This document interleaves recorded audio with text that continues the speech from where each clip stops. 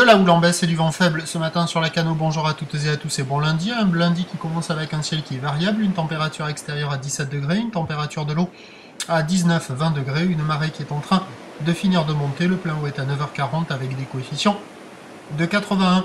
Sur cette fin du montant, le vent est offshore faible et sud-est, moins d'un fort, le plan d'eau est lisse, glacis. Et on a une petite houle qui est moyenne de 8 secondes de période, orientée ouest-nord-ouest, propre en atténuation quand même par rapport à hier soir.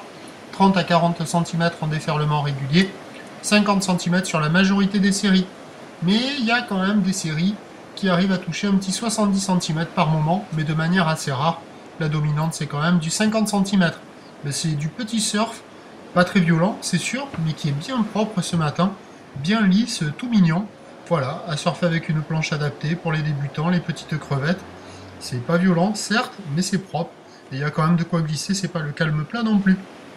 L'évolution pour le reste de la journée, c'est un train de houle stationnaire à la mi-journée qui s'essouffle en soirée, du vent shore qui se lève un peu à la mi-journée avant de se renforcer cet après-midi.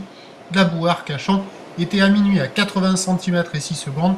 Elle est à la baisse ce matin à 60 cm et 6 secondes.